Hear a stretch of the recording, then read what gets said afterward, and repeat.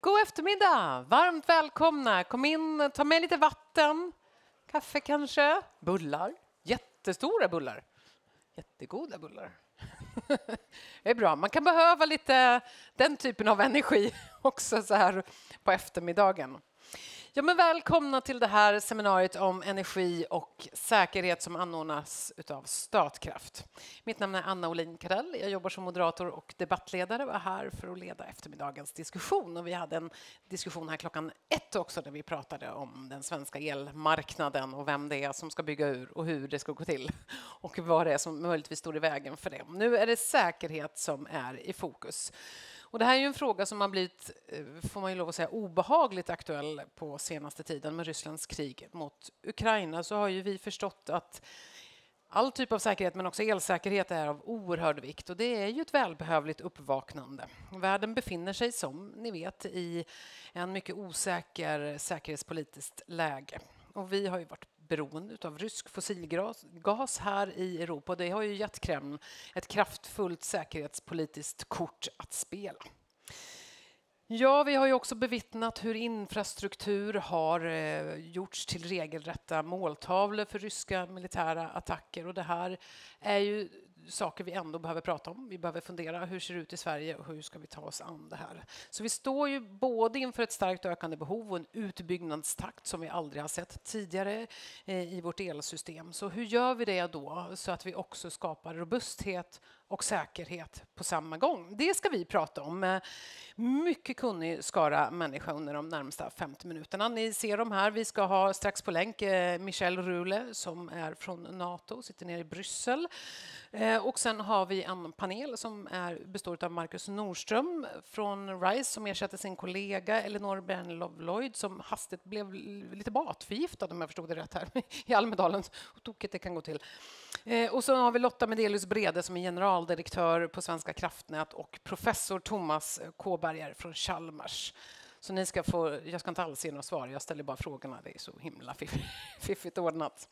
Men innan vi kommer så långt så skulle jag vilja få bjuda upp VD för Statkraft Sverige, Jakob Nordström. Varmt välkommen. Tackar. Ja, tyvärr får man ju lov att säga så fick ju det här seminariet lite mer aktualitet än vad vi kanske trodde då när vi började planera det här med det som, som hände med sprängningen av kraftverksdammen. Hur, hur reagerade du på den? Ja, som, som stor dammägare så, så är man ju naturligtvis eh, påverkad av de här typen av incidenter. Eller, eller, och vi har ju en eh, både stor, eller stor damm dammportfölj i Sverige och i Norge och även utomlands. Så att, eh, det är ju lite, det är lite otrevligt när sånt här händer tycker jag. Mm, milt uttryckt. Eh, hur förändrar det som händer hur vi som land och som ni som producent utav... Jag vill prata jag säkerhet. Vill säkerhet. Säkerhet först. Förlåt? Statkraft Sverige så är säkerheten först och eh, vi jobbar med en kulturbyggnad som heter Vara varandras beskyddare. Så vi vill gärna beskydda er och ni beskyddar mig. Vi har i dörröppningen så har vi en eh, brandsläckare och om vi skulle behöva utrymma så utrymmer vi rakt ner och till vänster. Sen i tältet bredvid här så ligger det en eh, hjärtstartare nere till vänster så om någon skulle få problem så springer vi iväg och hämtar den och kommer tillbaka hit fort. Har ni förstått? Ja, tack. Uppfattat. Bra. Bra. Eh, då går vi tillbaka till hur ni som producenter behöver förhålla er till säkerhet och, och i ljuset av det som har hänt. Alltså, vi har väl inte tänkt så mycket på det som har hänt just nu, men vi, det är ju en, en, en, allvarlig påminnelse om det arbetet som är påbörjat. Och vi har ju totalförsvar som kanske inte är eh, totalorienterat i en riktning, utan eh, jag tror att varje varje bolag jobbar med det här på olika sätt och jag tror att det blir viktigt framöver att vi får en styrning eller att vi samverkar för att skapa de förutsättningarna som vi kan för en hållbarhet i samhället. Vi jobbar naturligtvis med Svenska kraftnät för att kunna säkerställa att vi har eh, våra anläggningar gående. Vi har jobbat också med att krigsplacera personal och så vidare. och Så vidare. Så det är väldigt mycket jobb som är på gång och det kräver ju också väldigt mycket kunskap och den kunskapen kanske vi inte har inhämtat allt än, men, men vi är på god väg och vi försöker samverka det i branschen också. Mm. Det Finns det jobb. något elslag som är säkrare än något annat? Eh, jag skulle inte säga att det finns något elslag som är säkrare, men däremot så är det väl så att mindre distribuerade anläggningar är naturligtvis inte lika eh, känsliga, men eh, som stora kärnkraftverk eller stora vattenkraftsdammar och anläggningar. Så att ur det perspektivet kan man väl säga att vindkraften kanske inte är lika känslig i förhållandevis. Mm. Då tackar vi dig för att du anordnar det här seminariet, eh, Jakob, och eh, du får återkomma framåt slutet och eh, hjälpa oss att sammanfatta lite. Vi ska nu då eh, prata om Nato och deras eh, säkerhetspolitiska arbete, så vi byter språk för en liten stund och så ska vi koppla upp vår gäst på länk här borta. So, welcome to our seminar, Michel Roule. You are the head of the Hybrid Challenges and Energy Security section in NATO's Emerging Security Challenge divisions in Brussels. You're also involved in developing NATO's new work strand on the climate security. Good afternoon. Good afternoon. Glad to be with you. Glad to have you. It's lovely to have you, and we do appreciate that you take your time to be with us despite a very, very busy schedule. Well, summits are very special, and they happen only once a year, so we better get this one right. So we all have to we have to have all hands on deck, which uh, made it impossible for me to be there in person. So at least the virtual option uh, had to do we'll love having you here in, in any way we can. So let's begin with the climate and energy security section that you currently lead. Is it fair to believe that it's been formed due to the increasing geopolitical instability that we have seen? Um, yes and no. I mean, we had energy security in NATO since 2008, so that's quite a while ago. Uh, climate only since 2021, so fairly recently. But for both subjects, it's certainly true that the allied interest and partner interest in these subjects has enormously grown over the last two, three years, particularly because of Russia's uh, assault on Ukraine uh, and the energy transition more widely and uh, the effects of climate change more widely. So we were there before, but uh, people are now taking us more seriously. Hmm. Could you tell us a little bit on the section's work, if you elaborate a bit, and, and its connections to these challenges? Well, we do a lot of uh, work, um, analytical work, of course. We're doing studies on uh, the energy transition. We have uh, a lot of uh, interaction with uh, energy companies, with energy um, institutions like the European Union or the uh, International Energy Agency. We reach out to the climate community, if you will. Um, we organize or co-organize tabletop exercises on various aspects of energy security. Um, we do specific studies. For example, recently we did a, a set of guidelines how nations could become less dependent on Russian fuel in their armed forces. So we have a, a lot uh, to do, and right now we are preparing the Secretary General's annual uh, climate change and security impact assessment, which basically shows how climate um, impacts uh, NATO's missions and operations. I see. So, how has the role um, in in energy protection evolved during due to the Russian invasion of Ukraine? We talked earlier here about the terrible event with the the dam that was destroyed, the plant dam. Yes. Um, NATO always had a limited role in infrastructure protection uh, because it is largely a national responsibility.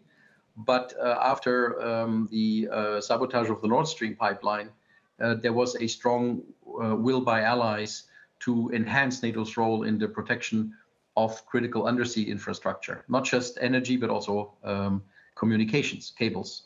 So, uh, to make this happen, we are now uh, building up a new, um, let's say, uh, structure that gives uh, or that that uh, facilitates a dialogue between the companies that own and operate infrastructure and the military, which could, in theory, deter attacks on these infrastructure. Mm-hmm. So um, we are trying to um, bring them closer together. And our uh, initial uh, feeling was that uh, the companies are quite uh, interested in the dialogue with NATO because they know quite well what's going on on the bottom of the sea, but knowing what's going on and protecting bad stuff from happening these are two different things so for the second part maybe nato could be of help so i'm looking forward to having a much more trustful and intense discussion with uh, uh, private the private sector in the in the years to come. Mm. This is something we've already done to a large extent in the in the cyber world, where we talk to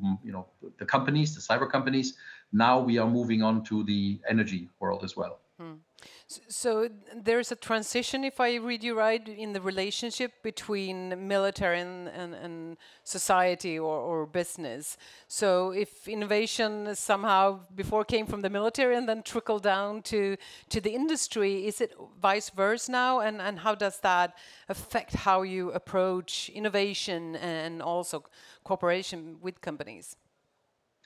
Uh, yes, indeed, it's now the other way around. Uh, innovation happens in the civilian side, and then the military can hopefully uh, make use of, of what's going on there.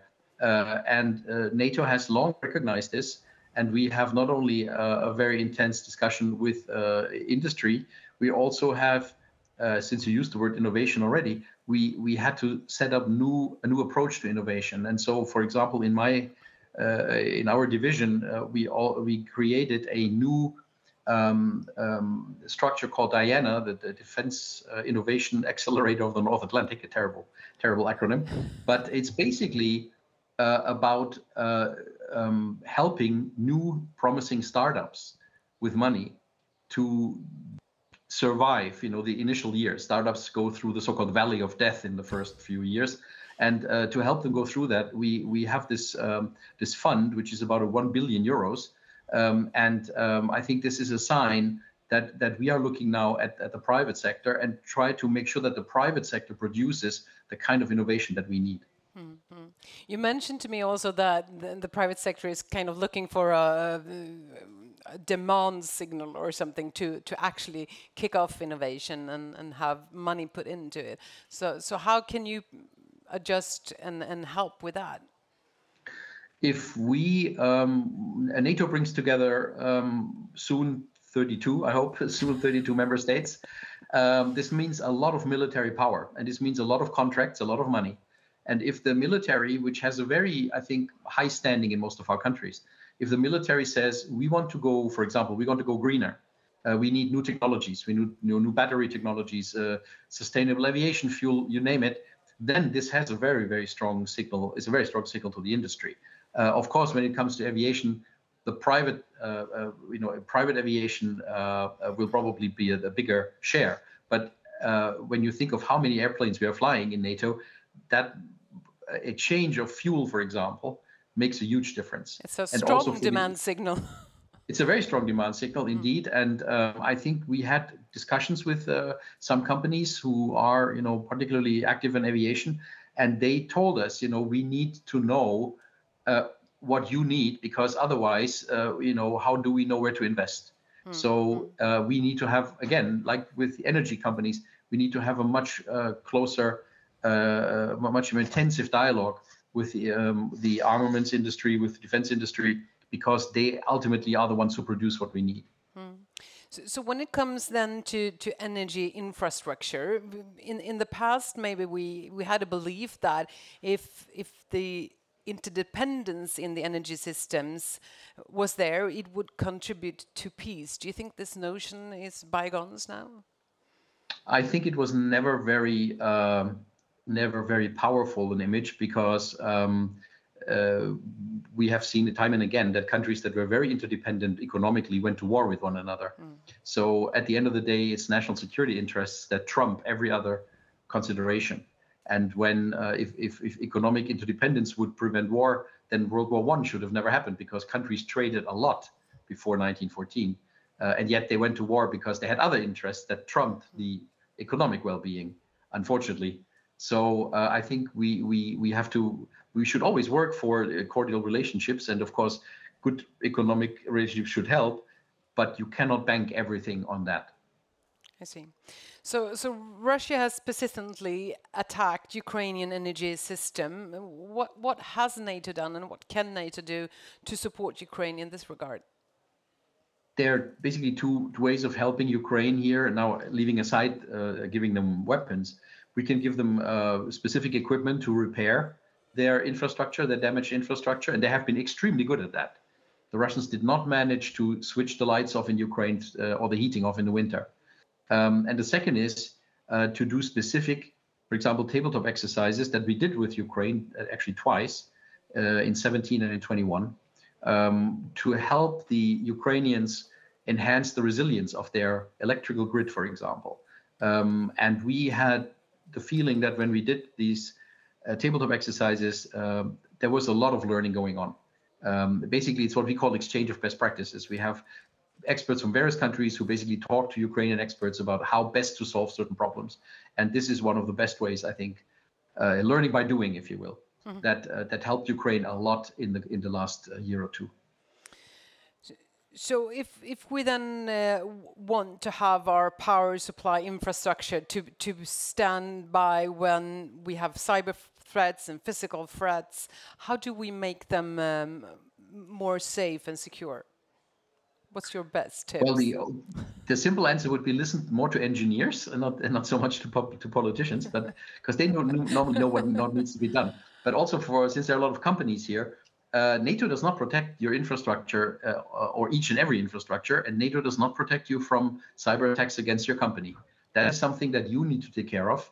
So if your security uh, guy comes to you and says, you know, we need two million euros more uh, for a better cyber defense, then um, don't send them away, but think about it. Because at the end of the day, I think um, um, still today, when it comes to infrastructure, again, uh, protection against cyber and th- similar things, it is the company itself that has to take the burden. Um, you can learn from NATO. We have all kinds of uh, ways of, of, of, sharing best practices among allies. Mm-hmm. But at the end of the day, a company is responsible for its own cyber defense. Of course. So, how can we promote energy diversity uh, to not rely too heavily on, on one specific energy supplier or one energy source?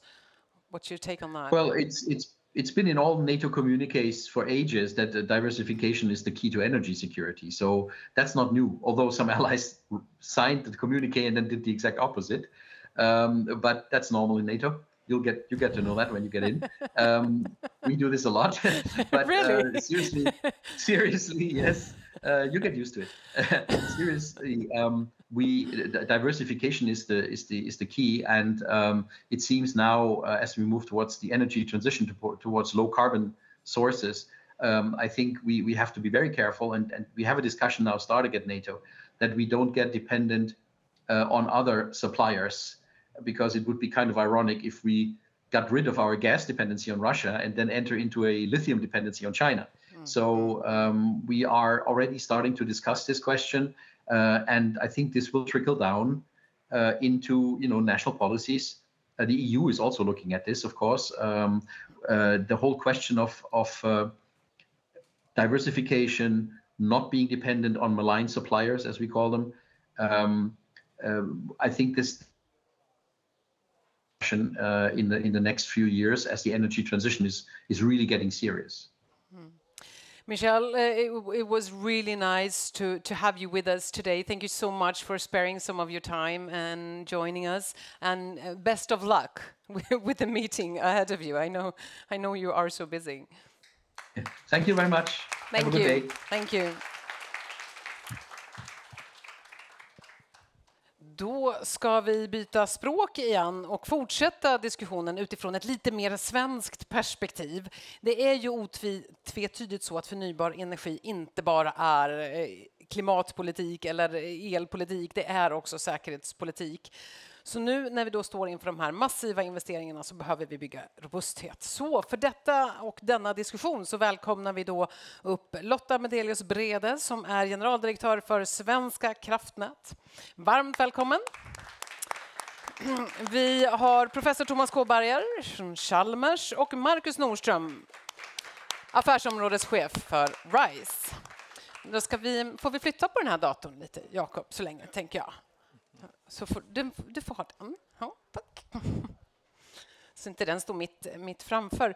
Ja, men det är mycket nu som händer, eh, kan man tycka. Vi ska liksom bygga ut och det ska bli fossilfritt och vi ska elektrifiera, vi ska möta en klimatutmaning, vi ska bygga ett säkert och robust system. Hur ser ni på den ökade hotbilden mot våra elsystem? Ska vi, vi kan börja hos dig, Lotta.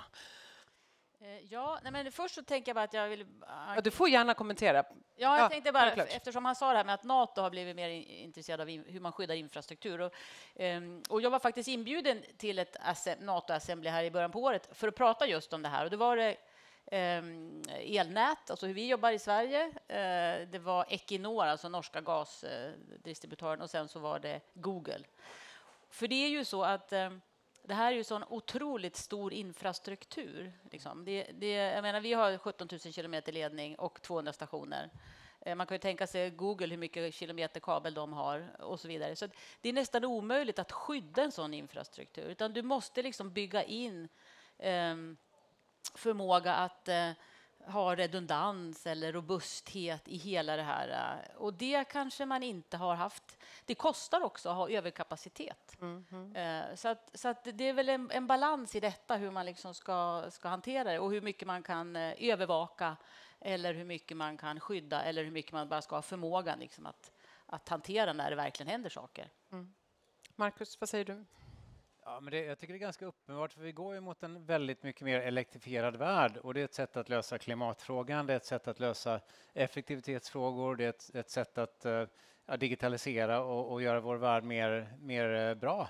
Och i och med den glidningen så sätter vi oss också i ett större beroende. Vi är enormt sårbara idag om elsystemet skulle slås ut. Uh, Det är ju mer eller mindre vårt samhälles blodomlopp och, och ja, vi, vi kan inte till exempelvis eh, kommunicera, vi kan inte göra finansiella transaktioner, vi kan inte få vatten. Det, ja, allting hänger på ett fungerande elsystem.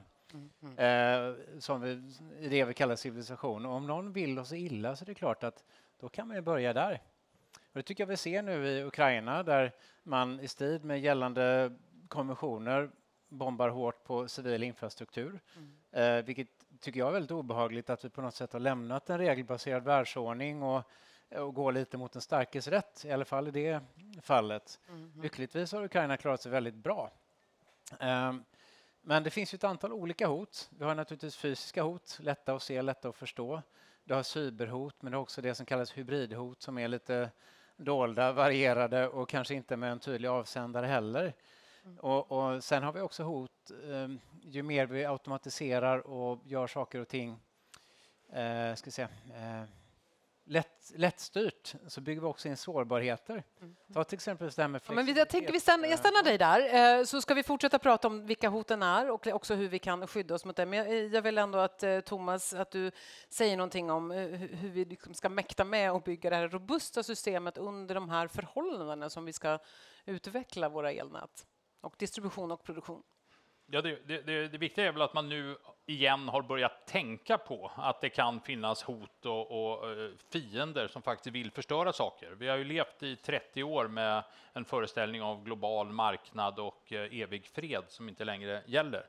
Eh, några sådana konkreta exempel, när man bygger upp solcellssystem, om man tar, tar på sig lite större kostnader och bygger dem så att de kan fungera även om elnätet är borta, så har man byggt upp en större, eller minst, har man minskat sårbarheten. Det kan gälla hushåll, det kan också göra eh, jordbruket till exempel som vill kunna köra sina mjölkmaskiner även om det är strömavbrott. Det kan gälla livsmedelshallar som kan behöva ha sina kylsystem och betalningssystem i funktion även om det är strömavbrott ett tag. Eh, Och den här typen av så att säga, fysiskt minskad sårbarhet den har vi ju sett värdet av nu, bland annat då genom det som, som händer i Ukraina, men också mera naturkatastrofer och sånt som kan ställa till det. Eh, sen har vi de här hoten som handlar om att om man ja, bombar man kraftledningar och gasledningar och sånt där, då är det för att försämra energiförsörjningen. Förstör man vattenkraftdammar eller kärnkraftverk så kan det också orsaka stora skador indirekt. Vattenkraftdammar hundratals miljarder kronor, kärnkraftverk tusentals miljarder kronor. Alltså det är väldigt stora indirekta skador. Eh, sen eh, cyberhot kan ställa till också försörjningen och kanske till och med utlösa, utlösa eh, skador som drabbar andra. Men, men sen, du antydde här också, att där på den här hybridnivån, man ska inte bortse från den fientliga verksamhet som handlar om desinformation och påverkanskampanjer. Eh, kan roa er med eh, Putins tal på Moscow Energy Week 2021 och 2022 så jämföra det med USAs Inflation Reduction Act och EUs Repower EU. Det är en väldigt intressant jämförelse. Okej, fick vi lite hemläxa utav Thomas? Ja, Ja, ja. det är bra. Kan, kan vi göra sen. Inte just nu, ni får hänga kvar här en stund till. Eh, Lotta, jag tänker med, med den roll du har som generaldirektör eh, för Svenska kraftnät, det måste ändå gå att sätta sig in i hur motsvarande person i Ukraina eh, Alltså den situationen som den chefen måste ha suttit i. Hur, hur tänker Ja. ni? Hur känner du för det? Nej, men de är, Ukrinergo är ju observatör, då, som det heter, i vårt europeiska samarbete, NSOE, eh, och har ju då återkommande rapporteringar. Och det, och det är klart, de har ju, som du säger, förstört infrastrukturen. Det gjorde man ju inte i början. Och det var kanske för att man Ryssland trodde att det här skulle gå en smidig operation och då vill man inte förstöra en infrastruktur. Men nu ser det annorlunda ut. Och det är klart, de har ju haft roterande bortkoppling av större delen av landet i, under lång, lång tid. Det haglar liksom missiler.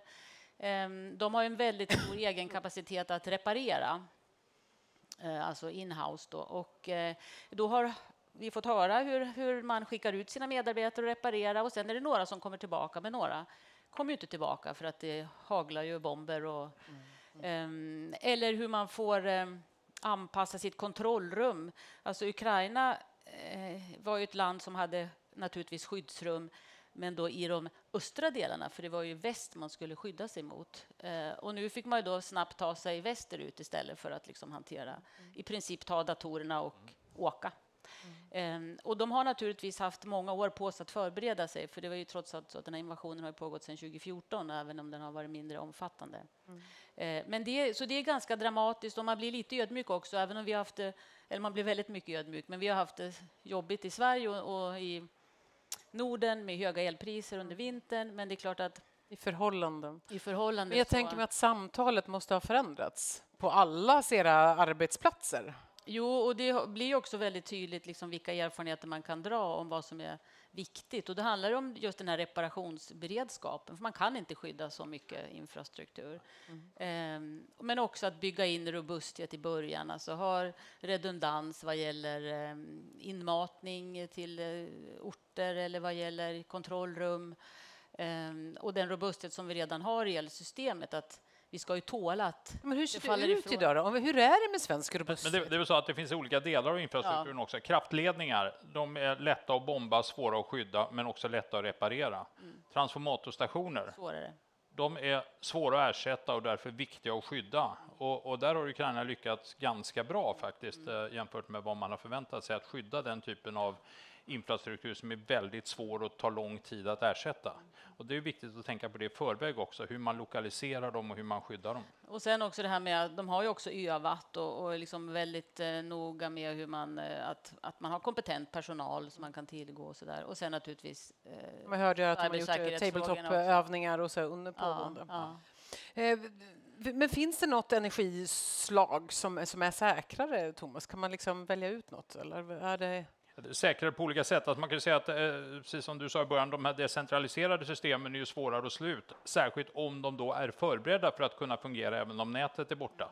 Eh, Det finns en, en historia från, eh, från Ukraina där en rysk missil slog ner i ett stort solcellsfält och då förstördes några paneler och sen så inom ett halvt dygn så hade man fått igång elleveranserna igen, minus några paneler och då var det någon som påstod att eh, eh, missilen kostade nog mer än de förstörda panelerna. Och då är det bra, för de har vunnit det ekonomiska kriget lite grann. Så att, där är det klart att de här decentraliserade systemen är bättre, särskilt om de är förberedda för att fungera eh, i ödrift. Och, och där har vi ju i Sverige väldigt liten andel av de solcellsanläggningar som installeras som är förberedda för att kunna fungera om nätet är borta. Ska vi prata om de här öarna lite? Ja. Vem vill förklara det för Nej, oss? men- Lotta kan börja sen. Ja, nej, men ödrift är ju som sagt om, om, om inmatningen till ett ställe slås ut så, så ska man kunna ha en lokal produktion som man drar igång. Och vi har några sådana ställen i Sverige. Vi har, och där kan Svenska kraftnät ge ersättning utifrån att vi också är elberedskapsmyndighet och ska försöka rusta sektorn i stort och inte bara oss själva. Och, och det här är ett arbete som pågår och som är väldigt viktigt eh, såklart. Eh, För att då kan man åtminstone dra igång den, den liksom lokala produktionen. Eh, Men det behövs ju då att man har lokal produktion. Hur, ser, hur ser du på ödriften och, och det, Marcus? Hur, förberedheten i det? Just nu är den inte så himla imponerande vad jag förstår, både vad det gäller teknisk förberedhet eller också att man övar tillsammans. För det är faktiskt många olika organisationer som ska fungera ihop. om det här ska flyta smidigt när det väl händer någonting.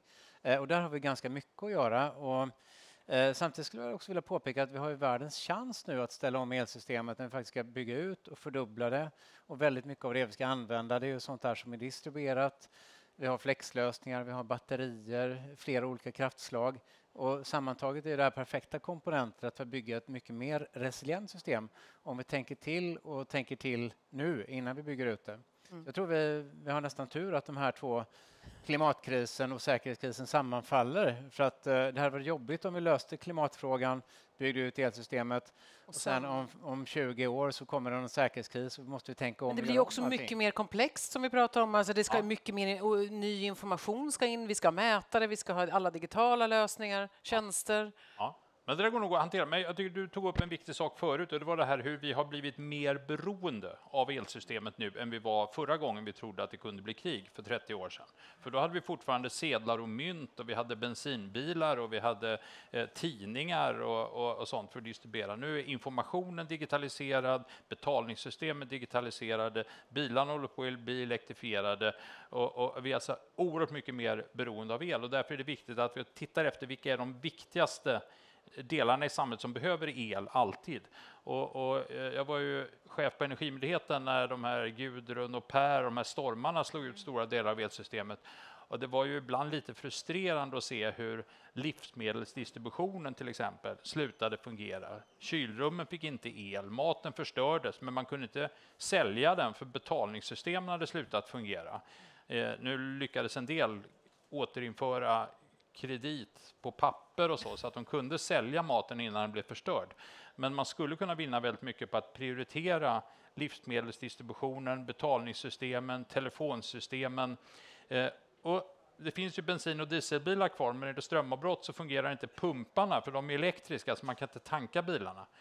Mm. jag föreslog då att när staten ville subventionera solceller och samtidigt att vi skulle vara ansvariga för den här typen av eh, beredskapsplanering. Vi kanske kunde prioritera och subventionera solceller på bensinstationer och livsmedelshallar. Men det var ju svårt för det var olika departement och ibland fungerar inte statsförvaltningen perfekt. Men, men, här tycker men för jag nu pratar ju du lite om totalförsvaret. Ja, för nu, jag tänker, hemtjänstens nu, nu. bilar går ju också på el. Va, vad händer? Ja, ja, liksom? visst, men det går, det går ju faktiskt att, att, att även få dem att, att se till att man kan klara sig under en period i alla fall utan att Eh, att elsystemet fungerar. Men alltså, livsmedelsdistributionen den är faktiskt viktig. Men, men, finns det Lotta, ett behov av lokala beredskapsplaner liksom för el motsvarande det vi kanske har för vattenförsörjningen redan? Ja, men alltså, det är ju redan så enligt lagstiftningen att kommuner till exempel ska ha eh, ska ju kunna klara ett strömavbrott. Det har ju blivit tydligt kanske under den här vintern att så är det nog inte överallt, men det är ju faktiskt krav på att man ska ha en, eh, om det nu är gasturbin eller någon annan produktionsanläggning, så att man kan klara sjukvård till exempel eller annan samhällsviktig verksamhet. Så den, det finns ju redan. Men det kan behövas så eh, jobbas på det. Återigen, jag, Fint uttryckt. eh, plan, planer är jättebra, eh, men övning är det som gör skillnad när den väl smäller. För det är väldigt många organisationer som måste samfungera och för eh, ett år sedan ganska precis så var RISE värde för en NATO-övning som heter Nordic Pine eh, som var en del av, av eh, eh NATOs övningsverksamhet med allierade och vänner. Och, då blev, och det var hur, hur eh, cyberhot och hybridhot kan riktas mot energisystemet. Och det var en riktig ögonöppnare, inte bara för oss som, som höll i övningen men också för, för många av aktörerna som var med. Och efter det så har vi på begäran eh, skalat ner den här ganska stora övningen som var i hela Norden till lite mer lokal nivå. Och nu kör vi faktiskt en pilot tillsammans med en mellansvensk kommun, eh, SVK, eh, eh, ett annat elnätsbolag, eh, den lokala kraftproducenten och eh, de aktörerna som är ska säga, kritisk samhällsinfrastruktur där mm, mm. för att se lite hur man agerar i den lokala kontexten. Planer finns, men övning fanns inte. utan det här är någonting de kände att de behövde slipas ihop. Mm. Vi hoppas att det blir lyckat. Men ni har ju också, jag tänker om ni pratar övning, så har ju CyberRange eh, just för cyberattacker. Just det. Ska vi nämna någonting om det också? Ja, men det är också en väldigt viktig resurs. Och en annan sak, om man pratar elnät så finns det ju tre nivåer som alla här inne säkert vet. Och vi har ett stamnät, regionnät och, och lokalnät. Och tittar man på den strukturen som är av aktörerna i lokalnätsdelen finns det väldigt många små företag där man precis som, som sades här så förväntar man ta ansvar för sin egen verksamhet som NATO-herren sa här. Eh, men har du ett pyttelitet eh, nätbolag på 10 pers, 12 pers, 14 pers så har du liksom inte stabskapacitet att manna upp så att du kan säkra din verksamhet mot en antagonistisk stat till exempel, för det är en viss nivåskillnad där. Eh, Kunskapsklapp kanske. Det, och, och, det där är en sårbarhet som vi gärna skulle vilja jobba med på RISE och se till att vi använder de resurser vi har och riktar särskilda erbjudanden mot den här typen av mindre aktörer så att de kan bli compliant med med mm. de här kraven som kommer och det finns något som heter NIS 2 som kommer nu som är lite grann av ett eh, ska säga, ramverk för hur, vad man förväntas göra som verksamhetsutövare. Då. Och där är ganska stor differens mellan vad de här små bolagen mäkta med och vad som faktiskt krävs. Men det kanske behövs mer av samarbete kring de här eh, stora komplexa frågorna, för det är ju ingen liten aktör, knappt stora aktörer mäktar med att lösa det här, eller? Nej, och vi har ju en säkerhetsskyddslagstiftning också som, som ska ta hänsyn till alla, alla möjliga eh, säkerhetshot och där är vi tillsynsmyndighet och det är ju en otroligt svår lagstiftning att uppfylla och eh, ganska ny i och för sig. Men, men så där finns det också behov liksom att olika aktörer har inte det är svårt för dem att ha den förmågan eller kompetensen att, att liksom matcha. Matcha en stat, en rysk... vad, tänk, vad, tänker du, Thomas, när du hör den diskussionen? Ja, det, det, det, är farligt om man börjar tro att det är någonting som, som, där ansvaret ligger hos någon annan. Jag tror att, att vi alla som eh, företag eller hushåll eller vad vi än är har ett, eh, en roll att spela, att förbereda oss själva. Och eh, ibland så hör man företag som säger ja, ja, vi skulle kunna göra det, men det kostar för mycket och det är inte lönsamt och så. Men eh, Eh, det visar sig ju när, när det händer något, och det behöver ju inte vara krig, alltså de här stormarna Gudrun och Per för drygt tio år sedan, de var ju en väldigt bra eh, övning. Det gick ju faktiskt lite bättre efter Per än det gick efter Gudrun, för då hade man tränat ser ju cyberattacker slog ut Coop och, och, och ja, ja, visst. under många, så, många så dygn. Att, så, att, så att, eh, att, förbereda sig, ha reservplaner och veta vad man ska göra och så som sagt när man investerar, tänka på att investera kanske lite mer för att minska sårbarheten eller förenkla återställandet. En liten deppig siffra då är ju att Sverige är trea i världen på digitalisering, men vi ligger på knappt 20 plats vad gäller cybersäkerhet. Så vi har ja. kanske ett litet, litet ja. kunskapsinhämtning att göra. Ja, och, och, och, lärdomarna från Ukraina ska vi ta hem så mycket som möjligt på alla de här områdena, för de, de får ju verkligen träna. Finns det några frågor i publiken, tänker jag, som ni sitter och funderar på? Ja? Fredrik kommer springandes med Gustav Hellström, ordförande i Svensk vattenkraftförening. Håll den nära. Är mm. Ja, jag vill ge, ge ett, ett, slag för småskaliga vattenkraft. Mm. Vi har tusen vattenkraftverk i södra Sverige som är byggda för ödrift. Utnyttja dem. Det var inte en fråga. Det var inte en fråga, men det var en inlägg. Men det kommer en fråga bakom här. Jättebra poäng. Eh, jag blev bara nyfiken på vilken den här eh, mellanstora kommunen var som ni ska köra piloten för eh, eh, jag är inte säker på att jag får säga det. Eh, jag borde frågat innan, men jag, fick meddelande om att jag skulle vara här en timme innan jag skulle komma, så jag hann inte förbereda så noga. Men jag, jag tycker du är otroligt förberedd. men om du är nyfiken på det här så kan vi, vi prata efteråt, så kan jag sätta ja. i kontakt med de som ja. driver det här erbjudandet då, som vi har. Jättegärna. Mm. Mm. Jag, jag, jag, kan kommentera det här med vattenkraften. förra gången det var ett riktigt stort strömavbrott i Sverige när stora delar av södra Sverige slogs ut, det var 1983 yeah. eller någonting. Va? Då lyckades Gullspång de lyckades upprätthålla systemet i ödrift eh, och i Linköping så bestämde de sig för att de skulle försöka bygga upp systemet i ödrift. De har ju stort kraftvärmeverk och grejer så, men det, det går inte att starta ett kraftvärmeverk utan att ha någonting att starta med. Och då var det just små vattenkraftverk eh, som de hade till sitt förfogande som de använde för att bygga upp systemet. Och de lyckades ju faktiskt få igång Linköpingsområdet i ödrift. Och sen kom det stora nätet igång precis samtidigt och då låg de 180 grader ur fas i sitt elsystem. Så stängde de allting och började om. Men, men de fick ju träna. Sen dess tror jag ingen har tränat på riktigt i Sverige med ödrift. Kan du, alltså Nej, övningar gör man, men, gör vi, men riktigt praktiskt, det vet jag inte om det är någon som har gjort det. Ja, när vi, vi, de anläggningar som vi ersätter för det, de testar vi ju såklart. Mm. Eh, men, men, eh, det är också så att om man får ett stort störning, det, det första man vill göra är ju naturligtvis att återstarta systemet. Det är ju liksom det, det, det, vi gör först och det är det vi tränar på att göra först. Men mm. går inte det, då har man ju den här ödriftsförmågan. Som är. En annan sak som jag bara tänkte med, um, som vi inte har pratat så mycket om, men uh, Ukraina, och det, är ju också hur de har använt alla möjliga former av sociala medier och information för att liksom få ut sitt dels budskap och fakta om vad som händer, men också eh, att för att för, liksom mota lite grann de här desinformationskampanjerna och så, som är. Ja. Att, att man själva har varit väldigt aktiva liksom från att, att kommunicera skeenden och gjort det på alla möjliga kanaler som finns så att eh, medborgarna ska kunna ta del av det. Mm. Jag var på ett annat seminarium där de sa att attackerna, de ryska cyberattackerna på dagen för, för krigsutbrottet så ökar de med 200 procent i Sverige ja. mot svenska företag bara för att vi, om vi är upptagna med det så kan vi inte göra annat. Men där är också det viktigt att, att de här eh, sociala medierna som man då använder, att de fungerar och att mobiltelefonerna kan laddas. Och där finns ju en massa sådana här decentraliserade initiativ eh, Eh, släpvagnar med solceller och batterier som man kan köra ut i de områdena där det inte finns strömförsörjning och så kan de användas då för att i sin tur ladda mobiltelefoner och andra så att folk forts får fortsatt informationstillgång. Mm. Det är massa sådana här... Eh, Hur ska vi ta med oss den här kunskapen in i det som eh, ni ska göra på Svenska kraftnät nu när ni ska bygga ut överföringskapaciteten så ofantligt mycket? Ja.